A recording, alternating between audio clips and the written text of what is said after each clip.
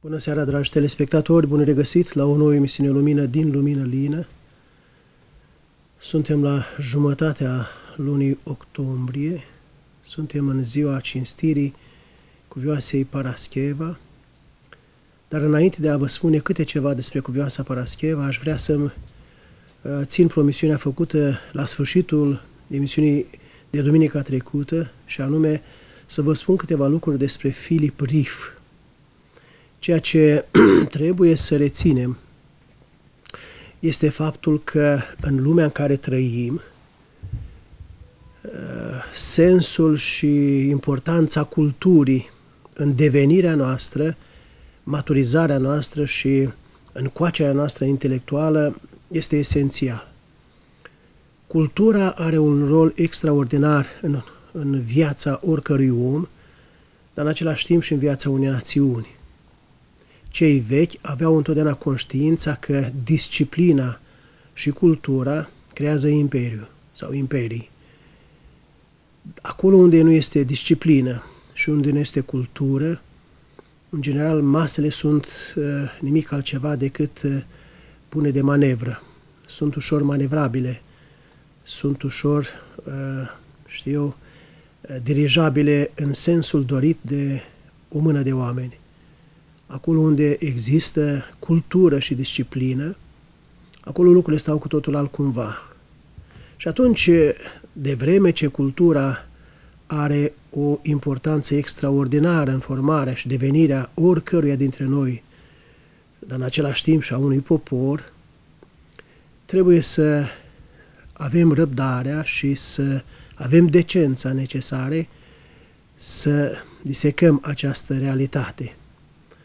Pentru că vrem, ori nu vrem, trebuie să acceptăm că ultima parte din viața fiecăruia dintre noi și cu precădere ultimul sfert de veac și-a pus amprenta extrem de puternică asupra societății noastre și, de ce nu, asupra multora dintre noi. Felul în care în ultima ultimul sfert de veac, ultimii 30 de ani, 28-29 de ani, cultura și-a avut locul, și-a păstrat ori și-a pierdut locul în uh, conștiința fiecăruia dintre noi, în școala românească, ori în societatea românească, a profilat un alt fel de societate. Ceea ce noi trăim astăzi nu este nimic altceva decât firescul rezultat al felului în care am privit și ne-am hrănit sau am construit, am creat, de fapt, noua cultură. Uh, lumea, în general, trebuie să facem această precizare, are ca întotdeauna aceeași paradigmă, același model. Ceea ce s-a petrecut de la începutul lumii și până la sfârșitul lumii nu e nimic nou. Sfântul Vasile cel Mare spunea că singurul lucru nou sub soare de la facerea lumii și până la sfârșitul lumii este întruparea Mântuitorului Hristos. Ceea ce a fost, este și ceea ce este, va mai fi. Și atunci, de la facerea lumii și până la Mântuitorul Hristos, lumea a mers după o paradigmă. Și anume, modelul după care s-a, s-au derulat anii, s-a derulat timpul, s-au derulat evenimentele de la facerea lumii și până la Mântuitorul Hristos a fost unul ascendent și descendent în același timp. De regulă, majoritar a fost descendent, adică într-o decădere, să spunem așa, o permanentă decădere. De la facerea lumii, încet, încet, omenirea s-a dus spre o groapă. În același timp, ceva, ceva a urcat spre, spre infinit. Ei bine, în acest sens, ne explicăm mult mai ușor ce înseamnă de fapt entropia sau Altfel spus, lucrul acesta este ușor explicabil, nu după fizica lui Newton și după fizica cuantică și după legile termodinamici. Am această strângere de inimă că n-aș putea întotdeauna să să armonizez, să spun ceea ce uh, ar trebui spus, să fac corelările necesare. N-aș putea pentru că sunt mult prea multe de spus la un loc și e greu să le corelez pe toate. Sunt conștient de limitele pe care le am. Sunt conștient în același timp de noianul de cunoaștere posibil pentru orice ființă umană și cât de puțin ne hrănim noi din acest noian, din acest ocean al cunoașterii la care suntem așteptați, invitați, așteptați și ajutați de Dumnezeu să aderăm, să, să, ne, inund, să ne necăm în el. E bine, această limită pe care mi-o știu este cea care nu-mi dă această posibilitate să fac ușor uh, corelările de, de, de rigoare. Dar în același timp încerc uneori să fiu iertat dacă nu reușesc pe deplin sau nu pot să lămuresc pe deplin lucrurile. Ei bine, vreau să vă spun că fizica cuantică este cea care ne, ne-a deschis porți extraordinare. Fizica cuantică este cea care, așa cum spunea profesorul Dulcan, ne, ne, ne face să înțelegem că 1 plus 1 nu e egal cu 1. În, în matematica veche și în fizica lui Newton 1 plus 1 fac 1, dar în fizica cuantică 1 plus 1 pot, pot face 3 și așa mai departe. De bine, de ce spun lucrul acesta? Pentru că odată cu, cu, cu apariția fizicii cuantice, când universul acesta n-a mai fost perceput doar ca o simplă mașinărie, ci la rândul a fost perceput ca o mare mașinărie, dar în care are tot atâtea subansambluri care la rândul sunt mașinării. Și omul s-a plecat și a arătat că noi înșine suntem un univers, că este un macro-univers, iar omul este un micro-univers. Și cu cât te apleci asupra micro, micro-universului acestuia, ajungi că înțelegi și o celulă este un micro, micro-univers, lucrurile sunt cu totul altcumva. Enciclopedismul de odinioară e greu de, de, de a mai fi prezent acum, pentru că lucrurile sunt mult mai profunde. Astăzi avem specializări și specialiști pe, pe, pe falii diferite. Și asta nu înseamnă că dacă cineva este specialist pe o falie, înseamnă că el de acum poate să fie doctor de 20 de ori, el nu înseamnă că nu sunt alte și alte falii pe care, nestăpânindu-le, nu poate să se laude că el este absolut, așa cum, de regulă, de cele mai multe ori, se întâmplă și în societatea noastră că oamenii care au titluri, doctorate și mai departe, în loc să fie mult mai smeriți și mult mai, mai dornici să ridice pe ceilalți spre, spre cunoaștere, spre asemănarea cu Dumnezeu, sunt mult mai trufași. Un lucru acesta eh, ne arată nouă că nu știm să ne raportăm și unde să ne raportăm sau nu știm cum să, care este de fapt raportul nostru cu cultura. E bine, în momentul în care fizica aceasta ne-a arătat nouă că trebuie să ne aplicăm spre micro univers om și spre micro-universul din micro-univers, adică spre celulă, ne-a descoperit lucruri atât de importante și ne-a dat să înțelegem mai bine realitățile universului. Ei bine, spuneam că lumea de la, mântuit, de la facere și până la Mântuitor a fost pe de o parte a, cu un trend ascendent și unul descendent sau coborător. E bine, fizica cuantică și termodinamica de altfel ne spune că omenirea de la facere, din momentul în care putem spune cum cei mai mulți de oameni acceptă un Big Bang, o, o explozie în care de atunci începe uh, existența. Noi putem accepta acest lucru, că este momentul în care Dumnezeu a ieșit din sine și a spus să fie.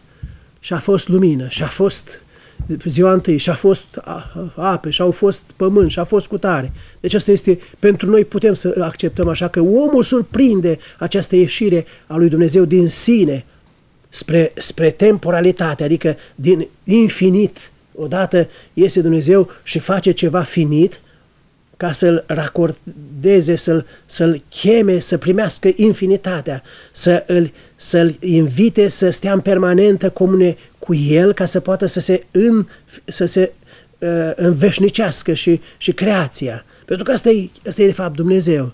Este o, o explozie a infinitului și atunci se creează finitul. A, a, așa surprind oamenii. Noi spunem că e Dumnezeu care a făcut a creat din nimic, Bereșit bara, a creat din nimic, spre deosebire de Bereșit Asa, care a creat din ceva. Și atunci, când a, a creat lumea, oamenii spun că a, a fost un mare zgomot, un bing bang. E bine, de atunci oamenii sunt conștienți și mărturisesc știința pe care noi uneori o îndumnezeim, mărturisește că lumea merge în involuție, că există o entropie, se numește, o cantitate de stricăciune care intră în creație și care factorii externi vor să distrugă, să o ducă, să o anuleze. Și asta se numește entropie. Și atunci noi avem această entropie de la face lumii spre Mântuitorul Hristos și a fost o entropie pentru că oamenii din ce în ce mai mult s-au depărtat de Dumnezeu, ajungându-se până acolo unde, ucigând sau punând sfârșit vieții omului, aveau sentimentul că aduc, de fapt, laudă lui divinității sau zeul sau lui Dumnezeu. E bine, dar această cădere din treaptă în treaptă, din ce în ce mai mult spre fundul gropii, a fost în același timp secundată de, o ur, de un urcuș. Și dacă treapta aceasta decadentă a fost a materiei în special, a fost și a, și a, și a spiritului, dar ceva spiritual a urcat din ce în ce mai mult și aceasta a fost, cum spun eu, urcușul spre care tindea de fapt omenirea, pentru că omenirea tinde întotdeauna spre, spre divinitate, spre desăvârșire, spre infinit, spre înveșnicire și treapta aceasta a fost urcată de genera- din generație în generație de anumite persoane, ajungându-se la treapta cea mai de sus prin Fecioara Maria, prin Maica Domnului. Și astfel noi avem deodată o cădere a omenirii și o urcare a omenirii. Ei bine, Mântuitorul Hristos recrează lumea. Și noi am putea spune că ăsta este un al doilea Bing Bang pentru cei care nu cred sau nu înțeleg ce înseamnă recrearea lumii. Pentru că el a luat firea omului, care era căzută, era decăzută, și a luat firea omului și a asumat-o, a sfințit-o, a întărit-o, a înduhovnicit-o, a smerit-o, a, a, a omorât-o, a înviat-o, a înălțat-o și stă de-a dreapta tronului Dumnezeirii. Și noi avem firea noastră acolo, la tronul Dumnezeirii. Și astfel ne-a arătat că noi acolo avem cetatea noastră, destinația noastră, sensul nostru este acolo, să stăm de-a dreapta tronului Dumnezeirii. Și noi, acce- noi acceptăm invitația ori nu. Pentru că creștinismul, prin excelență, este o invitație. Creștinismul nu e obligație. Creștinismul nu e filozofie. Creștinismul nu e ideologie, ci este o invitație la a înveșnici pumnul, pumnul de pământ și a-l duce sus acolo, lângă tronul Dumnezeirii. Dumnezeu ne vrea pe toți fiii Lui. Ne-a arătat că toți suntem fii ai Lui dacă vrem să acceptăm și El se bucură pentru orice rătăcit și pentru cel mai mare tâlhar al timpului în care l-a trimis pe Fiul Său pe pământ. Va și pe acela l-a dorit Dumnezeu acolo sus. De aceea a dat timp de mântuire și lui. Și nu i-a luat viața atunci, ci a acceptat să fie luată viața fiului său și prin asta a firii umane, ca să fie smerită și să fie omorâtă, să moară, ca să poată să reînvieze, să, să renască spre țelul acela suprem. Și atunci, asta este menirea noastră. Și de atunci, pentru că Mântuitorul Hristos a recreat lumea, a ridicat firea noastră acolo, dar ne-a făcut invitație și ne face invitație tuturor generațiilor până la sfârșitul veacurilor și noi să urcăm firea noastră acolo. Rămâne la latitudinea fiecăruia dintre noi să-i spunem da și să facem ce a făcut El, pentru că El ne-a arătat ce trebuie să facem, sau să-i spunem nu și El ne respectă pentru că Dumnezeu este iubire. Și când, când vorbești despre iubire, în clipa în care ai condiționat ceva, de fapt nu știi ce e iubirea. Dumnezeu ne iubește și a pus punct. El nu ne, nu ne limitează. Ne iubește, ne deschide drumul veșniciei, ne invită, dar nu ne obligă. Adică El ne așteaptă până la ultima suflare. Și suferă când plecăm, se bucură când ne întoarcem. Și atunci, iată, în sensul acesta, omenirea are invitația ca să schimbe cumva trendul care a fost de la facere până la cădere. De la facere până la, până la, de la facerea lumii și până la întruparea Mântuitorului Hristos, majoritatea, au, majoritatea creației, întreaga creație aproape, sau cea mai mare parte a creației s-a dus spre groapă. A căzut, a decăzut, s-a depărtat de Dumnezeu. doar o parte prin Fecioara Maria a urcat. Acum lucrurile s-au schimbat, în sensul în care Mântuitorul Hristos luând firea și înălțându-o acolo, ne așteaptă pe toți să urcăm acolo. Dar omenirea a răspuns acestei invitații multă vreme. Și a răspuns atâta vreme cât a urmat exemplul, modul de viață descoperit de Mântuitorul Hristos. Când modul de viață descoperit de Mântuitorul Hristos, în care omul este invitat să devină Dumnezeu, să, se, să, se, să devină el însuși o făclie arzătoare, o torță luminoasă de iubire pentru Dumnezeu, și în sensul acesta să, să alunge întunericul din sufletul celuilalt, să ardă răutatea celuilalt prin iubirea lui, atunci a înțeles ce înseamnă a fi creștin. Altcumva, creștinismul este filozofie decadentă și degradată. Nu, nu există altceva. În afara acestui, acestei esențe, creștinismul e nimic altceva decât o înșelătorie vremelnică și, și seculară. Și atunci, omenirea a fost chemată acolo și este așteptată acolo. Și multă vreme omenirea, vă dați seama, primele trei secole ale istoriei au fost în care cei mai mulți nu puteau să înțeleagă altcumva viața decât să îl mărturisească pe Hristos. Că acesta este adevărul și că în afara acestui mod de viață nu decât moarte veșnică. Și că însușirea acestui mod de viață în care să poți să luminezi în jurul tău, să arzi răutatea din, din, din inima celuilalt și să-l atragi spre iubirea lui Hristos este singura modalitate de a fi, de a fi în veșnicie. Ca fi uh, o, o râmă și o, un îngreșământ al pământului, poate oricine și oricând. Dar nu pentru asta e creat omul, ci omul e creat ca să fie acolo, lângă tronul Dumnezeirii. Și atunci, trei secole, oamenii nu mai au răspuns aceste invitații ci au fost capabili să moară pentru ca nu cumva să cineva să le ia acest dar extraordinar. Și în sensul acesta, iată, uh, trei secole. După aceea lucrurile au, s-au, mai, s-au mai relativizat. Lucrurile n-au mai fost la fel de, de, de, de, de vii și de puternice cum au fost în anii în care uh, creștinismul a fost sub presiunea Imperiului Roman, sub presiunea păgână, pentru că în ultima instanță, cele trei secole, nu sunt nimic altceva decât secole în care creștinismul a fost sub presiunea păgână. Păgânii vreau să stranguleze și să elimine creștinismul. A fost o luptă acerbă între o lume, într-o mentalitate veche, în care omul avea sentimentul că e creatura zeității, și între lumea cea nouă, în care omului îi se descoperise care este Creatorul, care este Dumnezeu, care este sensul devenirii lui. Și după, după această perioadă de, de, de, de slăbire a presiunii imperiale, păgâne, asupra creștinismului, lucrurile s-au relativizat. Au început disputele, certurile, îngăduite de Dumnezeu, fiindcă s-au fixat. Dacă până cât a fost această presiune extraordinară a păgânismului, creștinismul a, a fost cel care a înflorit din exemplu în exemplu fiecare din martiriul unuia se nășteau alți și alți creștini. Mai târziu avea să, să spună cineva extraordinar, sângele martirilor este sămânță creștinilor, unde curgea o picătură de sânge a unui mărturisitor al adevărului morții și învierului Hristos, se nășteau creștini.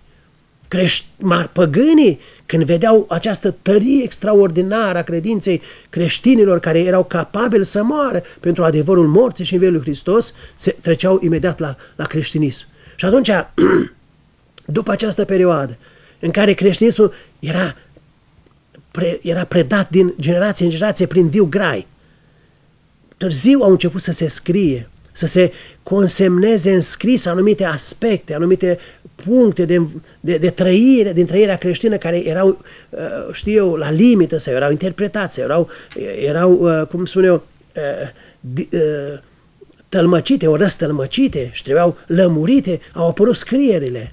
Încât noi facem cu totdeauna distinție între noul legământ sau noul testament ca legământ al iubirii jertfite a lui Dumnezeu și o carte numită Noul Testament, care e, e un document care ne întărește întotdeauna legământul de iubire cu Dumnezeu adus de Mântuitorul Hristos. Și atunci, în momentul în care omenirea a început să nu mai traducă, să nu se mai uh, uh, apropie de, de, de Dumnezeu și de Hristos prin exemplu celălalt, că începuse să lâncezească cumva creștinismul. S-au născut monahismul, după trei secole, de patru secole aproape de, de, de, de mărturii vii ale adevărului morții și învierii lui Hristos, a modului de viață adus de Hristos, după trei secole, patru secole, când creștinii, când creștinii au început să, să fie liberi și au început să filozofeze mai mult decât să trăiască mai mult, s-au născut monahismul ca o reacție la această lâncezeală. Ca, ca și cum le-ați fi spus, ei, Menirea noastră este să fim torți arzătoare de iubire pentru Dumnezeu. Menirea noastră este să stăm cu mintea trează, să ne rugăm, să stăm în legătură, în comune de iubire cu Dumnezeu, ca să putem să însămânțăm lumea asta cu iubire. Și atunci s-a născut, monah, s-a născut monahismul. E o problemă cu totul atât de clară, dar atât de neclară astăzi și uneori, uneori controversată. Auzi uneori călugări care spun că uh, ei sunt mai curați decât mirenii. Auzi mireni care urăsc uh, călugării și mai departe, lucruri teribile. Uh, uh, uh, nici nu vreau să, să uh, deschid discuția asupra acestui adevăr. Și atunci Dumnezeu a îngăduit că atunci când oamenii creștini n-au mai fost capabili ca ei să fie izvor de venire a păgânilor în biserică, în, în, această, în această mare comună de iubire, a, a, a acceptat ca să fie scris, consemnat modul de viață creștin. Și așa s-au născut dogmele. Și a, a venit vremea în care uh, lumea s-a împărțit în apus și răsărit. Istoria este cunoscută de noi și în sensul acesta, marea dispută între apus și răsărit știu eu, pecetluită cu acea fatidică zi de 16 iulie 1054, care a intrat în subconștientul omenirii ca marea schismă, a fost o, o, o piatră de potigneală pentru, pentru viața creștină. De ce? Pentru că 250 de ani mai târziu, la 1274, când s-au proclamat unirea apusului cu răsăritul, biserici de apus cu biserica de răsărit. Și când s-a proclamat această hotărâre de unire, atât în apus cât și în răsărit, oamenii și-au făcut și au spus, Doamne, dar când ne-am despărțit de trebuie să ne unim? Habar n-aveau oamenii că sunt despărțiți. Dar, pe de o parte, apusul și-a urmat drumul său, răsăritul drumul său, sau au fost două lumi separate de o nouă putere care se născuse în istorie de la 622 și anume de lumea islamică care a, fă, a fost multă vreme a fost un zid despărțitor între cele două lumi creștine, două părți creștine de apus și de răsărit. De aceea apusul a mers într-un fel, răsăritul a mers în alt fel. Și atunci s-au născut adversități și atunci s-a diferențiat cuvinte care erau, erau complementare în primul mileniu. Pentru că în primul mileniu biserica se numea I Catolichii Ecclesia Tui Christu, biserica de pretutinde a lui Isus Hristos. Și atunci Biserica Apostolului a spus, noi suntem i catolichii eclesia, noi suntem biserica de pretutindeni. Pentru că în prim, primul mileniu, cele două noțiuni, catolic și ortodox, erau complementare. Primul catolic exprima destinația bisericii să, să umple întreaga lume, să atragă toată din lume să facă o biserică. Iar ortodox însemna păstrându-și dreapta cinstire a lui Dumnezeu identitatea de, de, de mărturisire și de credință și de trăire. Și atunci, dacă apusul a pus accent preponderent pe, pe termenul de catolichii, răsăritul a pus accentul și a, a proclamat ortodoxia, identitatea de trăire și de mărturisire și de, de viață creștină. Și atunci, iată, apusul a evoluat în felul lui, a trăit în felul lui. Și atunci, în a pus la puțin timp după ruperea aceasta, despărțirea aceasta între doi tirane, între două personalități mari, un cardinal, Humbert și un, pap, un patriar, Mihail Celularie, amândoi la fel de vanitoși. După această rupere, apusul a avut epopeea lui, în sensul în care s-a dus o luptă acerbă între puterea seculară și puterea temporală, încât Grigorie al VII-lea, pe la 1064, 1074, 75, l-a, l-a, l-a umilit pe uh, Eric al IV-lea al uh, germanilor și este monumental episodul de la Canosa în care l-a pus să facă penitență în, în fața uh, palatului său și să stea în iarnă, plină iarnă, în picioarele goale în zăpadă la poartă, ca să facă penitență să fie iertat, că altfel a punea Germania sub interdict și elibera pe toți germanii de jurământul de credință care însesele regelui lor și astfel devenea un simplu om regele.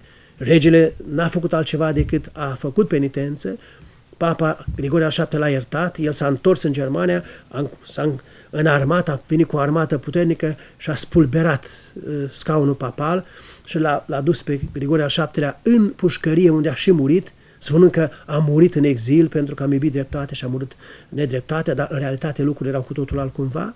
A fost o luptă pentru investitură numită în istoria bisericească și culmea puterii papale a fost atinsă de Inocențiu al III-lea în 1198-1216, papa care a, a dictat politica Europei, papa care avea putere deosebită, germenii puterii papale din timpul lui Inocențiu al III-lea îi găsim într-o lucrare a lui Deus Dedit, în care era raportul între puterea seculară și puterea temporală, în care papa se vedea mai deasupra, deasupra lumii și acolo cearta pentru investituri era nimic altceva decât între papă și rege era totdeauna, sau nobil era totdeauna disputa, care e mai mare? Papa spunea, eu sunt mai mare decât tine că te un rege. Regele spunea la rândul lui, eu sunt mai mare decât tine că te investesc, îți dau uh, uh, uh, cârja de, de patriarh. Nu? Și atunci sceptrul de patriarh. Și atunci, normal că această dispută a culminat cu o cu culmea puterii papale în uh, timpul lui Inocențiu al III-lea, v-am spus 1198-1216, dar a avut și o decădere la Bonifaciu al VIII-lea, pe la 1306, 7, 8. Dacă Inocențiu al III-lea i-a poruncit lui Filip să invadeze Anglia și a invadat Anglia încât avem acel episod unic în care Ioan al Angliei a, a, s-a născut acel dau uh, regatul pentru un cal, pentru că a, într-o bătălie a fost, i-a fost ucis calul și era gata să fie ucis el și a zis, bă, dau regat, dați-mi un cal ca să scap. Ei bine, Bonifacio al VIII-lea a murit și el în pușcărie și n-a putut să mai dea ordine cum a dat nici Grigore al VII-lea, nici Inocențiu al III-lea, ci când a vrut să dea ordine a fost închis și s-a deschis o, o, o epocă deosebită în istoria apusului, anume o captivitate babilonică a papilor de la 1300 1307 până la 1386-87, în care papii au fost captivi regilor Franței și duși la Avignon, și la sfârșitul acestei perioade de captivitate a papilor s-a dorit să se întoarcă scaunul roman la Ro- scaunul papal la Roma și atunci s-au născut o schismă papală în care s-a ales un papă la Roma și unul la Avignon și la 1409 sau erau trei papi uh, în, în, uh, în apus încât oamenii erau debusolați. 1409, 1414 la Constanța a încercat ca să se, uh, să se termine odată cu schisma papală, pentru că aceștia se anatemizau unii pe alții și revendicau fiecare dintre ei că este unicul și adevăratul papă. Și atunci, la 1414, la un sinod la Constanță, Constanța din uh, o, o localitate între Elveția și Germania, acolo a fost ars pe rug Ian Hus și s-a pus capăt uh, schisme papale, fiind ales un nou papă, dar faptul că s-a proclamat conciliaritatea adică că conciliul de la sinodul e mai mare decât papa, n-a fost recunoscut de, de papi ulteriori și a fost, uh, mai târziu avea să fie proclamată superioritatea papalității în sfârșit.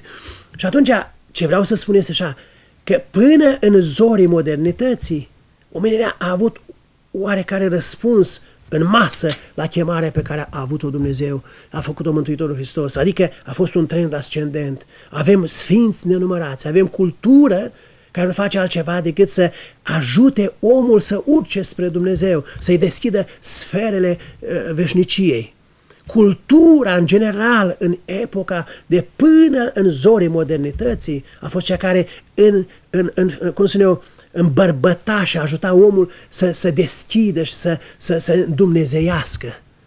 Au fost și voci care cârteau, să spunem așa, în istorie, dar întreaga cultură până în zorii modernității a fost prin excelență o, o cultură care îl ajuta pe om, era favorabilă omului să se deschidă divinității și să devină el însuși divin, adică să se înnobileze, să devină din ce în ce, era o, o noblețe sufletească, mai mult decât noblețea asta uh, de clan, noblețea asta uh, de castă, e cu totul altceva. Nu, vedeți, faptul că există o noblețe de castă, cum, sunt, cum este societatea indiană împărțită pe caste, e un lucru extraordinar, îngăduit, poate Dumnezeu, ca să înțelegem mai bine ce înseamnă noblețea sufletească. Dacă noblețea asta este jinduită de om, care e trecătoare, cu cât mai mult ar trebui să fie înțeleasă, asumată și dorită și, și, și împlinită această noblețe sufletească. Pentru că dacă noi am fi cu adevărat creștini, am fi împărați, am fi nobili nobilor, am fi veșnici, împărat în sensul împăratului Hristos, care s-a stăpânit pe sine în fața tuturor mizerilor și răutăților și pe toți a stăpânit iubindu-i până și pe răstignitori. Că nu i-a, nu i-a umilit, nu i-a disprețuit, nu i-a jurat, nu i-a blestemat, nu le-a făcut nimic, ci din potrivă le-a spus și lor, Părinte, iartă că nu știu ce fac. Și pentru ei s-a rugat. Și pentru ei a vorbit cu Dumnezeu să ierte, că nu știu ce fac. Ei să poți, ăsta este creștinismul, să poți să-i spui celui care te umilește, care te jignește, care te disprețuiește, care te bârfește, care te face în fel și chip. Să-i spui, iartă-mă, părinte, iartă, Doamne, iartă-l că nu știe ce spune, nu știe ce face. Ăsta e creștinismul. În afara acestui lucru e filozofie. Și atunci lumea a mers, a urcat acest, a avut acest trend, când cultura l-a ajutat pe om să urce spre Dumnezeu. Declicul s-a produs la Revoluția franceză. La Revoluția franceză, dacă până la Revoluția franceză omul nu putea să-și imagineze că există o formă de, de viețuire pe pământ, cu atât mai mult statală, fără raportare la, la veșnicie, la divinitate, la Revoluția franceză totul s-a rupt. În sensul în care Dumnezeu a fost coborât de acolo, El, care era farul călăuzit, era țelul, era, era uh, cum spun eu, uh, norma, principiul suprem, veșnic. Și a fost dat de pe pedestalul acesta și cum omul nu poate trăi fără Dumnezeu, a inventat un Dumnezeu. Și pe pedestalul cinstirii unde era Dumnezeu așezat și căruia se închina omul, Revoluția franceză s-a întors la antichitate. Prin proclamația drepturilor omului, în loc de cristocentrism, Hristos era în centrul existenței, s-a întors la antropocentrismul antic, în care omul este în centru. Și omul, din clipa aceea, și-a făurit cei doi zei, două divinități, Dumnezeu progres, zeița știință, care se închină până astăzi. Omul nu mai raportează propria existență la divinitate, la, la principiul veșniciei, la, la veșnicul creator, ci la niște norme pe care le-a considerat el că, și pe care le-a îndumnezeit. Știința autentică este dumnezeiască și îndumnezeitoare pentru noi oamenii. Din nefericire, știința autentică este atât de limitată încât cine poate, spre exemplu, să ne spună nouă? Câți dintre noi știm, spre exemplu, că la 94 de ani, cel care, om de știință fiind, toată viața a stat cu, a, a plecat asupra creației, existenței, a spus și a, a lansat această sintagmă după cercetări de o viață, că ultima realitate a lumii acesteia este particula lui Dumnezeu. La 94 a murit acum o săptămână, două. Asta e știința care proclamă superioritatea veșnicia lui Dumnezeu. Dacă ultima particulă pe care desfășurând, întorcând, accelerând, întorcându-se în timp și vrând să vadă care este ultima parte, firmitură, ultima particulă a existenței, a, a datului revelat, a lumii acesteia, a constatat că este particula lui Dumnezeu, fiindcă altfel spus, nu este opera, este urma treimii, de fapt, ultima particulă. Vine profesorul Constantin Dulcan și spune ce importanță are prezența ADN-ului într-un, într-un, într-o eprubetă unde sunt particule de nu știu ce. Toate sunt ordonate când ajunge un ADN acolo. Dar vine Stephen Hawking și ne spune acolo cum când omul de știință a vrut să desfacă până la ultima realitate a lumii acestea, ultima era un fel de trei cercuri uh, uh, uh, prinse între ele ca să înțelegem trei cercuri și când vreau să le desfac, veneau alte trei să le apere și încă trei să le apere, că era de fapt, așa aceasta era o formă vizibilă că lumea poartă amprenta Sfintei Trăimi. De asta spun că știința autentică este îndumnezeitoare. Când, când te duci la datele științifice și le urmărești și începi să le să le, să le interpretezi, să le înțelegi, să le pătrunzi, ui, te uimești. Te uimești pentru că ele dau mărturie despre Creator. Dar după ce omul de știință a predat ceea ce a, a constatat el de acolo, datele științifice, au venit colportorii de date științifice. Și colportorii de date științifice sunt cei care se folosesc de datele oamenilor de știință, de realizările, de, de, de, de, de um, cum spun eu, de munca omului de știință și o interpretează cum îi tra- trece lui prin minte. Și se naște o falsă știință, așa cum trăim noi, de ce mai mulți dintre noi astăzi.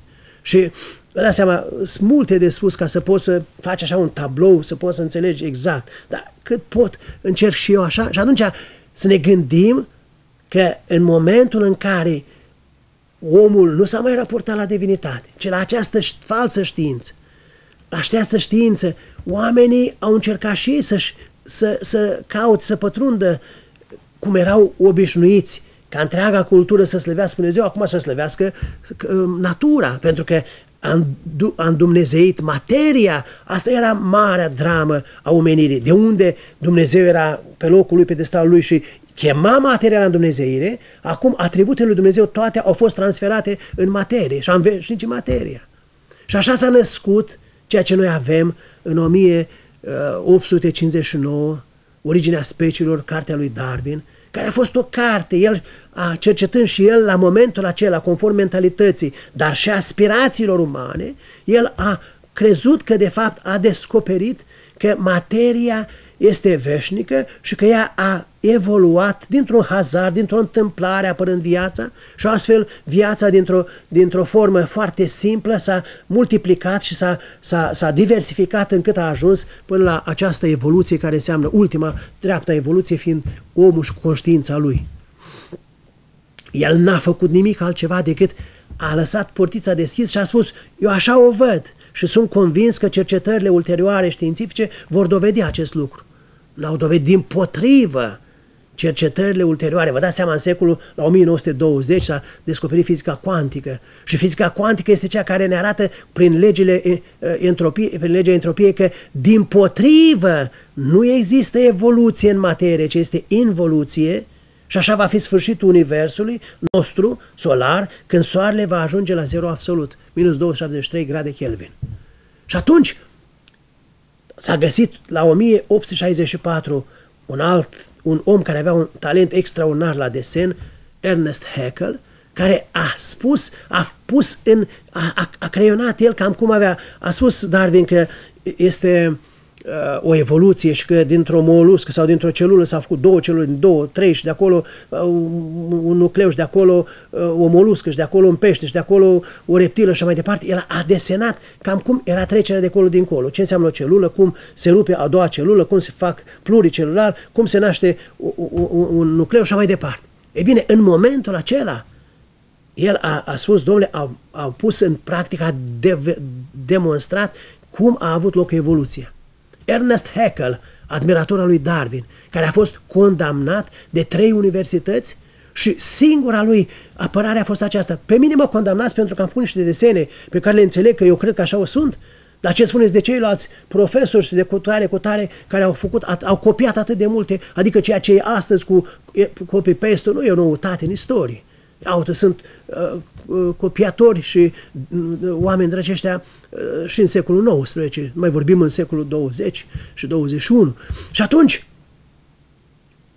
deși na, nu s-a dovedit nicio trecere a o evoluție a unei celule dintr-o, dintr-o etapă, dintr-o, dintr-o cal, cal, clasă în altă clasă, nu? De la o moluscă să fie, să devină o reptilă și la o reptilă să devină un mamifer și la un mamifer să devină nu știu ce. Nu, nu există nicio dovadă științifică, din potrivă.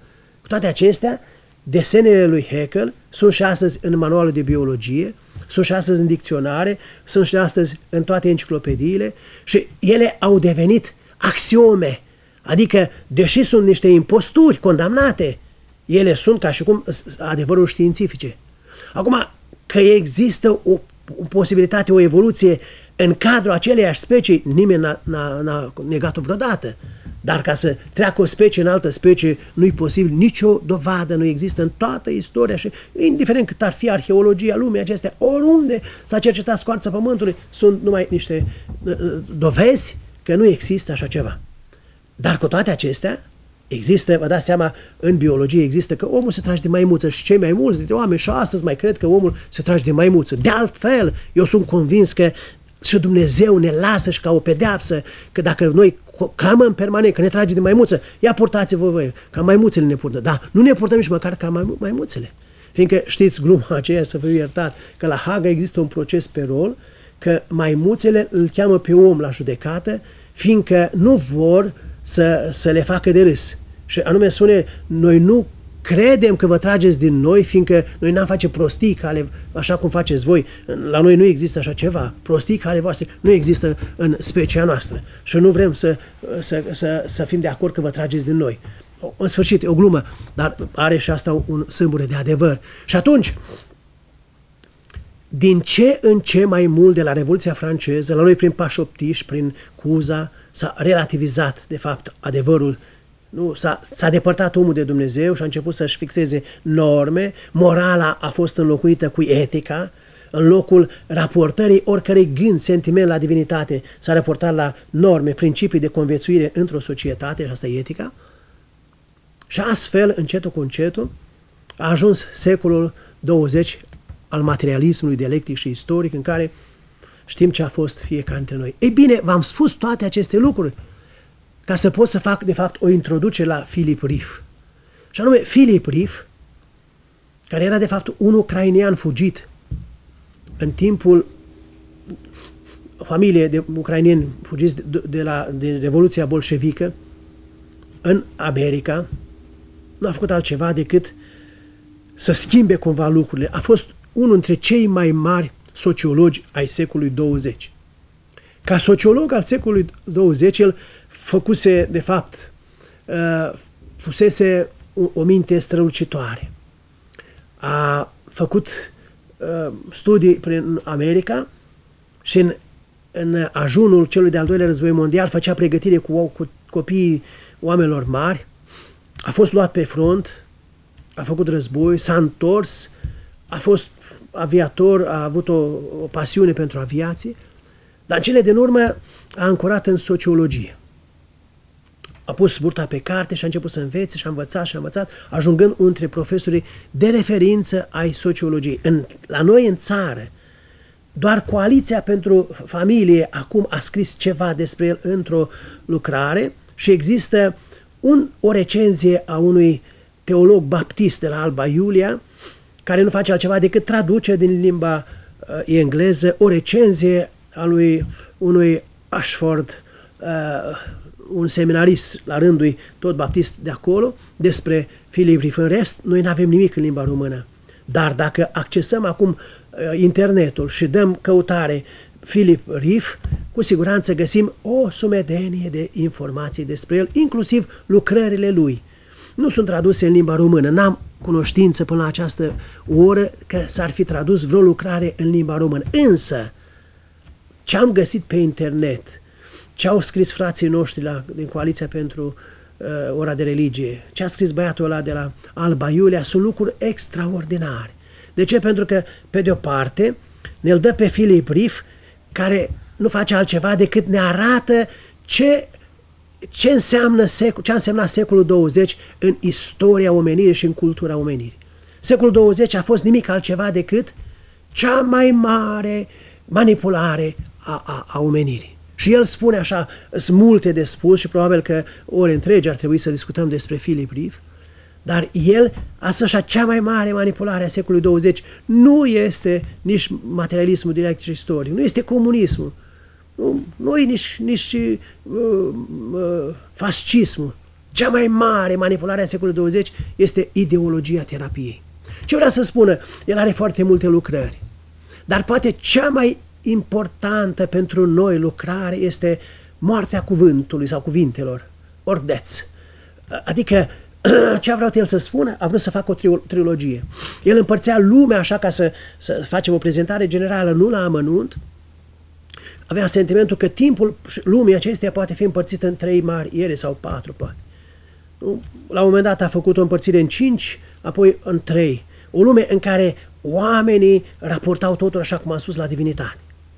O lume a religiosului, o lume a sacrului, o lume în care omenirea a înțeles că chemarea este să ajungă să se sfințească, să se sacralizeze.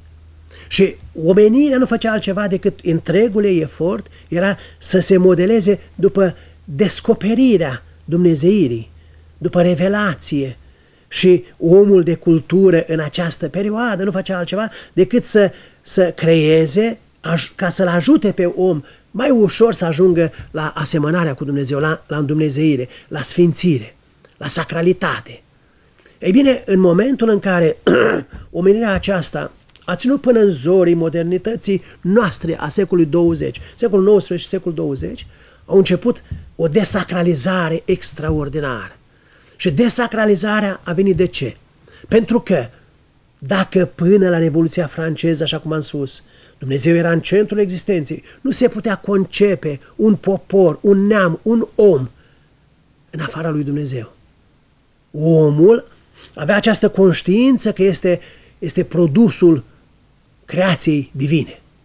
Statul este produsul creației divine sau îngăduinței divine, a, a, a, a sumei crea, crea, celor creați de Dumnezeu. Și că întreaga existență, întreaga viață nu e nimic altceva decât o invitație la înveșnicire. Omul este chemat să ajungă veșnic.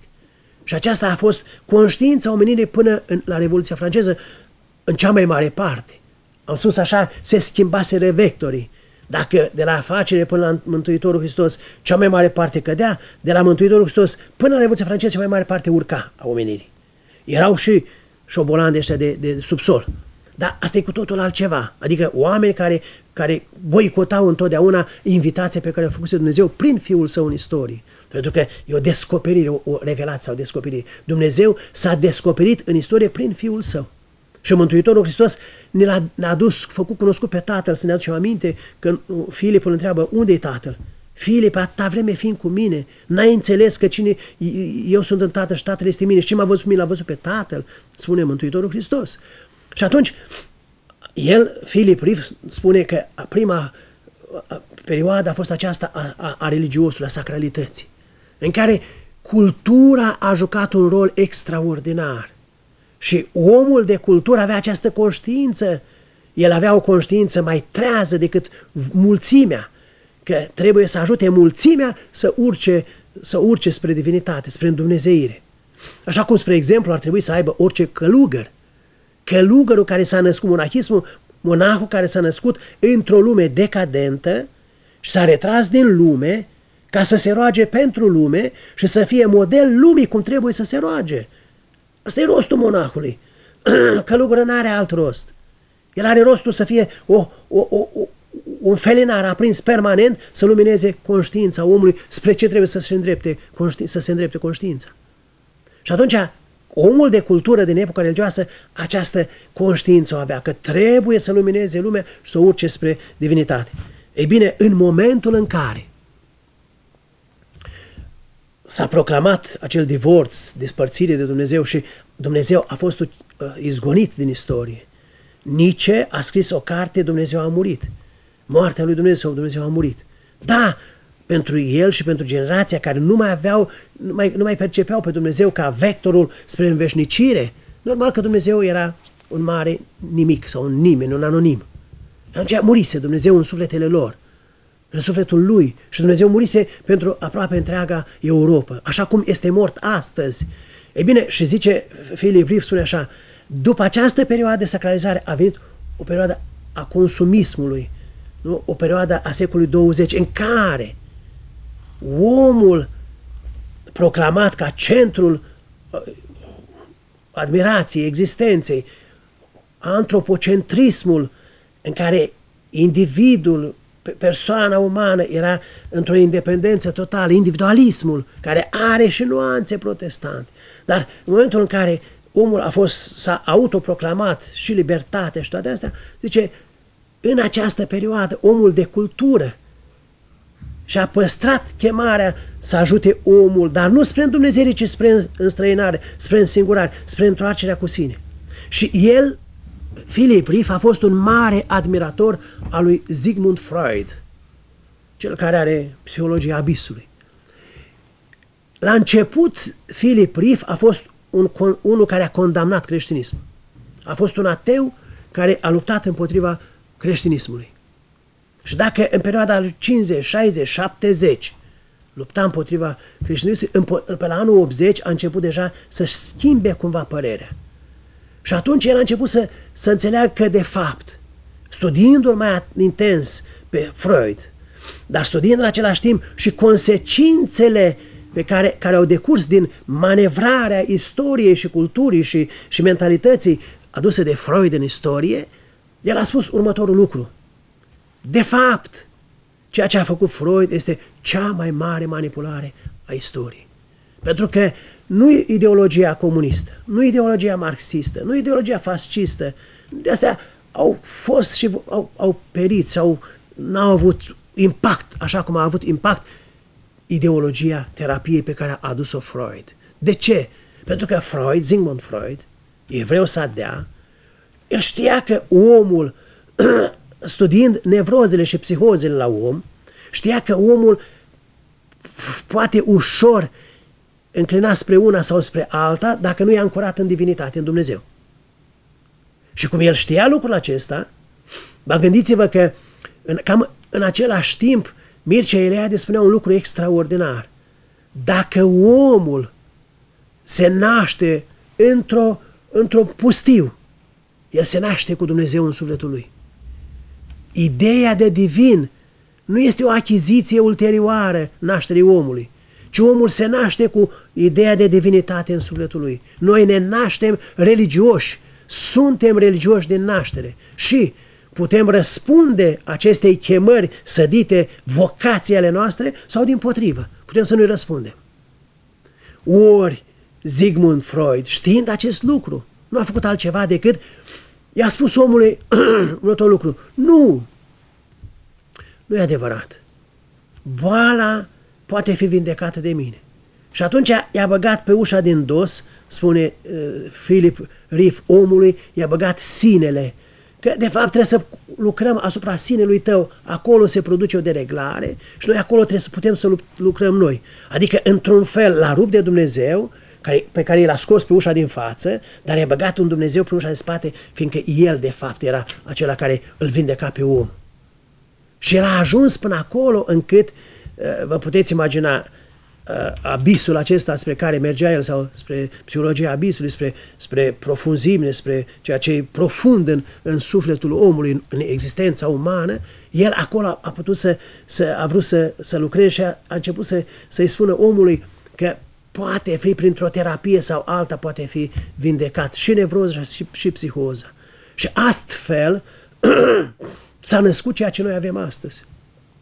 Pe de o parte, pentru că Sigmund Freud, în ultima instanță, ceea ce a adus el mai, mai profund, a spus că poate fi o formă de, de, de, de, de control, de vindecare sau uneori de alenare sexualitatea. Și deodată s-a născut o aversiune împotriva, uh, împotriva uh, heterosexualilor, împotriva familiei. Ei, de atunci, cultivând prin excelență senzualismul, uh, homosexualitatea, uh, transexualitatea și așa mai departe, nu a făcut altceva decât să creeze un curent. Un curent care încetul cu încetul, postulat fiind, uh, cultivat fiind, nu, a ajuns la ceea ce este astăzi și ceea ce, ce am trăit noi astăzi. În sensul în care, Doamne ferește, noi nu avem nimic cu nimeni. Dar asta este realitatea și cronologia istorică a evenimentelor pe care noi le trăim. Și Philip Riff scrie foarte clar că datorită lui Sigmund Freud s-a născut acest declic al istoriei în care omul, în loc să se raporteze la divinitate, a început să raporteze la sine și în special la propriile lui plăceri. Senzualismul și sexualitatea au fost supralicitate în opera și în, și în viziunea lui Freud și apoi preluate de alții, că nu doar Sigmund Freud uh, aici, dar el este prionul principal și el este vectorul principal pe care s-au sprijinit mai apoi și se sprijină cei mai mulți dintre cei care astăzi supralicitează una sau alta din aceste mici abateri de la ceea ce a făcut Dumnezeu, că Dumnezeu n-a făcut doi bărbați, nici două femei, ci a făcut bărbat și femeie. Și atunci, iată, Sigmund Freud, uh, Philip Reeve spune foarte clar, marea, marea derută și marea manipulare a secolului 20 este aceasta, că oamenii de cultură, sub influența ideilor lui Freud, în loc să-și pună mintea la contribuție și să-i arate omului că menirea lui este să ajungă asemeni lui Dumnezeu, au făcut în așa fel încât să supraliciteze sinele. Așa a fost posibil să se nască, uh, nu, ăsta e narcisism uman. Oameni care se admiră pe ei înșiși, care au sentimentul că nimeni nu-i ca ei, că ei sunt unici, că ei sunt de neînlocuit, că ei sunt doar cu drepturi. Așa s-a ajuns într-o societate să poți să accepti, să fii obligat să accepti că sunt drepturi fără obligații, să, să proclam, supralicitezi drepturile copilului în afara obligațiilor. Deci nu-i decât drept și acum să, să mergi mai departe să, să supralicitezi drepturile animalelor, să supralicitezi dreptul delfinului și așa mai departe. Vă puteți imagina până unde merg deviațiile acum? Noi, creștinii, vreau să cred și Filip anunță acest lucru. Noi nu facem nimic, nu suntem împotriva nimănui. Noi suntem împotriva noastră că nu reușim să ne cultivăm cum trebuie. Dar ce vreau să spun este că Filip spune, toată cultura a mers spre această direcție. Și cultura secolului 20, prin excelență, este, vă puteți imagina ce înseamnă, ascultați manelele. Nu și nu numai. Uneori citiți poeziile, citiți romanele. Toate, într-un fel sau altul, supralicitează euul. Persoana umană, un dumnezeiește uneori. Ori Philip Riff dă și o, un remediu la această, această stare. Și el ne spune următorul lucru. Nici o societate umană n-a putut să persiste, să reziste în afara unui, unei armonii între sacru și, și profan, între, între o ordine sacră și o ordine socială. Și el ne spune foarte clar, în măsura în care vom reuși să rede, revenim la un respect față de ordinea, ordinea sacră, ordinea sfântă descoperită prin revelația divină, în acea măsură vom reuși să eradicăm, de fapt, ideologia pe care ne-a adus-o Sigmund Freud. Ori iată, ă, dacă ar fi să, să, să vă spun de ce am ținut să, să fac această ă, oră de, de, de Philip Riff, nu despre Philip Riff, am ținut să o fac pentru că el ne explică extraordinar ce a însemnat de fapt momentul 6-7 uh, octombrie. Dacă noi am fi avut un dram de cultură, am fi știut că lumea în care trăim noi este potrivnică unei familii, așa cum e o minune tradițională pentru că dintr un bărbat și o femeie. Că noi nu avem nimic cu cei care au anumite comportamente, e libertatea lor. Dar ca să ne impui modul tău de viață, modul tău de a fi, de a gândi și apoi să, să educi copiii care n-au până la vârsta de, ei au tutore până la vârsta de 16 ani, cel puțin dacă nu până la 18, atunci lucrurile sunt teribile. De aceea m-aș bucura dacă, ascultând poate unii dintre dumneavoastră ceea ce a vrut să ne spună Philip Riff, am înțelege mai bine și ce a fost, dar mai ales ce trebuie să facem de aici înainte. Mântuitorul Hristos ne-a spus, a spus, le-a spus de fapt, există întâi de toate un cuvânt al lui Ieremia adresat evreilor, dacă nu vă veți întoarce, cu toții veți speri. Dar când, dacă noi nu vom fi capabili să ne reevaluăm punctul nostru de vedere, fără să sfidăm, fără să supărăm, fără să, să știu eu, să, să disprețuim pe cineva, dar să știm să ne proclamăm adevărul și dreptul nostru de a fi în istorie după chipul lui Dumnezeu, înseamnă că ne-am vândut dreptul de întâi născut în istorie. Nu pot decât să vă mulțumesc, să o rog pe cuvioasa Parascheva să mă ierte că n-am spus nimic despre, despre dânsa, dar să ne, cu rugăciunile ei, Dumnezeu să ne binecuvinteze, să urez la mulți ani celor ce poartă numele și să ne ajute Dumnezeu să ne regăsim la o nouă emisiune Lumină din Lumină Lină. Dumnezeu să ne binecuvinteze! Nu price curată